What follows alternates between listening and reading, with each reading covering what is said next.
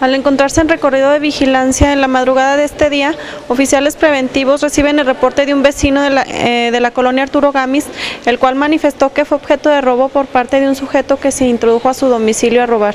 Los elementos detectan al presunto ladrón en las calles Ricardo Flores Magón y Jesús García de la colonia antes mencionada.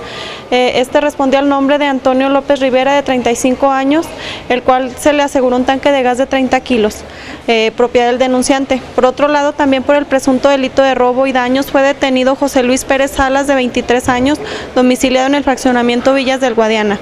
Este sujeto fue señalado por vecinos del fraccionamiento San Marcos de haberse introducido a un domicilio deshabitado y tras dañar las cerraduras robó diversos artículos. Ambos detenidos fueron ingresados en los separos de esta corporación policíaca y posteriormente turnados ante la Fiscalía General del Estado.